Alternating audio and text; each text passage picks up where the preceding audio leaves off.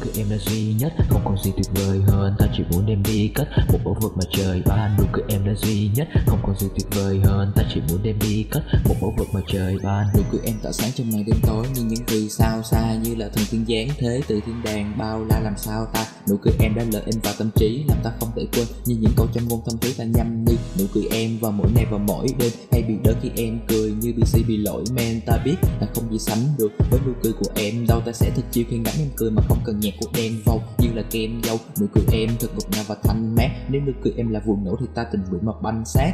Thêm một canh bạc, nụ cười em là thứ mà ta sẽ tất tay bọn họ rất cay vì làm sao đấu lại một nụ cười ngất ngay tuyệt vời hơn ta chỉ muốn đem đi cất một báu vật mà trời ban. Nụ cười em là duy nhất không còn gì tuyệt vời hơn. Ta chỉ muốn đem đi cất một báu vật mà trời ban. À, sao cơn mưa đầy huyền ảo nụ cười em như cầu vòng chỉ cần ngắm em cười là cả thế giới của ta thành màu hồng như là pháo bông. Nụ cười em khiến cho ai cũng phải trầm trồ. Nếu nụ cười em vô giá ta tình nguyện đi cầm đồ không một chút nhăn nhó nụ cười em là ánh dương. Sự ấm con tim của ta mà không có gì có thể so sánh được. Mọi người tránh đường ta luôn mơ được ngắm nụ cười của em ở trên thánh đường. À, đó vẫn chỉ là mơ ta biết. Ta chỉ đang thể hiện tình yêu vì nụ cười em da diết và ta viết.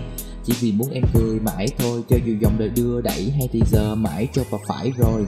Những câu chuyện tiêu cực hãy quên đi sẽ luôn có ta ở đây để gạt những giọt buồn trên mi đừng thêm suy vẫn luôn chia sẻ và lắng nghe cho dù chỉ còn em và ta ở giữa một quảng trường vắng hoe, ta sẽ chẳng hề phán xét hay là chẳng nghĩ ngợi chi. Ta chỉ nở một nụ cười như các em cười với ta, bởi vì nụ cười em là duy nhất, không còn gì tuyệt vời hơn. Ta chỉ muốn đem đi cất một báu vực mà trời ban, nụ cười em là duy nhất, không còn gì tuyệt vời hơn. Ta chỉ muốn đem đi cất một báu vực mà trời ban, nụ cười em là duy nhất, không còn gì tuyệt vời hơn. Ta chỉ muốn đem đi cất một báu vực mà trời ban, nụ cười em là duy nhất, không còn gì tuyệt vời hơn. Ta chỉ muốn đem đi cất một báu vực mà trời ban